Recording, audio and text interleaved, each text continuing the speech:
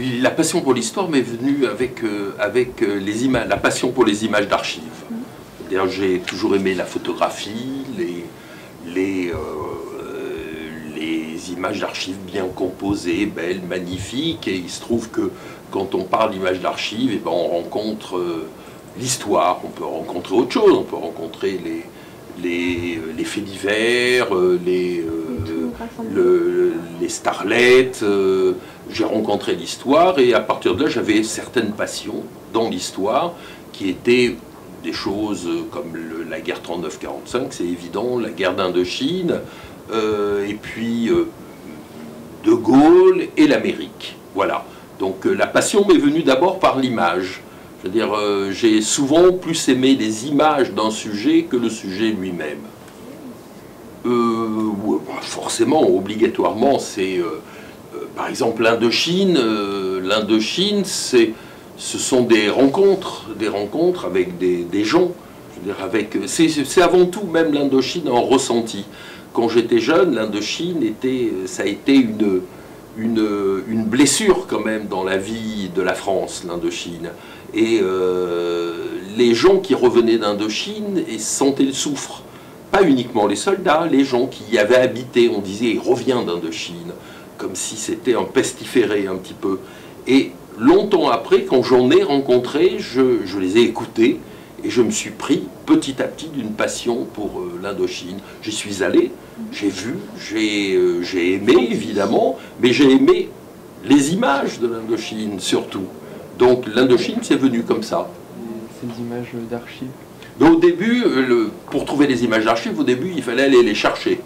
Je veux dire, pour les voir allait chercher. Je on allait faire un séjour à New York, Washington, euh, euh, Hanoï même, euh, en Angleterre. Maintenant, en très peu de temps, tout a changé. Je veux dire, Internet vous montre les images et une sorte de lien, un flux, quelque chose de non identifié, fait que vous recevez des, des images par totalement dématérialisées. Et ça, c'est vraiment je pense qu'à vous, ça ne vous arrivera pas parce que vous n'êtes pas de l'époque de la pellicule, et, même maintenant de la bande magnétique. Mais euh, c'est une catastrophe. Euh, On est né dans Internet. Voilà, pas uniquement parce que je suis un vieux con, c'est une catastrophe. C'est que après, où vous conservez les images?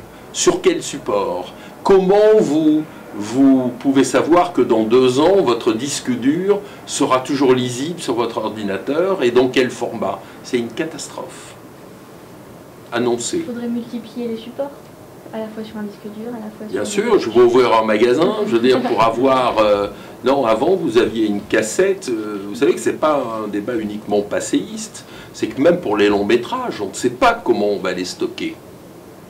On ne sait pas. Je veux dire, ils peuvent disparaître puisqu'ils ne sont plus sur pellicule. Non, oui, c'est par amour de moi-même, c'est mon plaisir, c'est me... Vous savez que c'est très... Euh, c'est un grand plaisir de faire un film comme ça. Un grand plaisir, vous êtes le maître du monde. Vous avez les images, vous racontez ce que vous voulez, vous, avez, vous mettez les musiques que vous voulez, les sons que vous voulez, vous, la narration, c'est vous qui l'a faite, qui l'a guidée. Vous êtes Dieu. Un petit bébé. Vous êtes Dieu. C'est... Euh, voilà, ça, ça me plaît, oui. Et si en plus ça peut être partagé, voilà. Oui, j'en ai. Euh, ils se Oui, oui, euh, euh, mais pas très nouveau d'ailleurs, parce que ça doit être. Autant sur l'Indochine, j'ai dû faire 6-7 films. J'ai fait 4-5 films sur De Gaulle, sur Marilyn Monroe, et je crois que j'en suis à mon sixième sur les Kennedy. Et là, j'en recommence un sur la journée non, mais à chaque fois, il y a un enjeu différent. Mhm. Là, c'est sur les Kennedy, mais c'est peut-être l'ultime, dans la mesure où c'est la journée où Kennedy est mort. Euh, il est parti le matin de son hôtel, il a pris l'avion, il a atterri à Dallas. Le soir, il est rentré à Washington en cercueil. C'est une journée euh, racontée en 90 minutes. Euh, passionnant. Passionnant. Vous êtes en train de le tourner? Je suis en train de, de, de le... Voilà vous allez mettre quelque chose de spécial aussi, comme l'animation euh, Non, mais il y aura des parties pris forts. Je veux dire, c'est pas un, euh, là de fait, c'est quelque chose d'historique, puisque c'est euh, la journée de la mort de Kennedy. Mais derrière le récit, il y a l'histoire de tous les 98, 100, 150 témoins qui étaient rassemblés dans un petit périmètre et qui pendant 21 secondes ont assisté à l'assassinat. Il y en avait beaucoup qui avaient des appareils photo, qui avaient des films. On a retrouvé, on a rassemblé toutes les photos et tous les films qui ont été faits.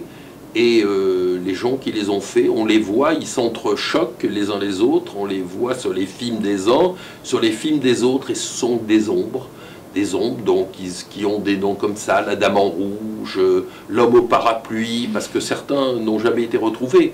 Donc il y a beaucoup de fantasmes là derrière.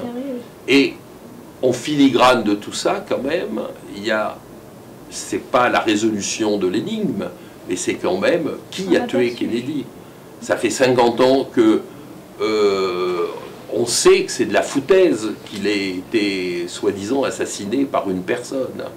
Donc ce film en filigrane montrera qu'en fin de compte, c'est pas celui qui a été accusé qui était le seul assassin et qu'il y en avait d'autres.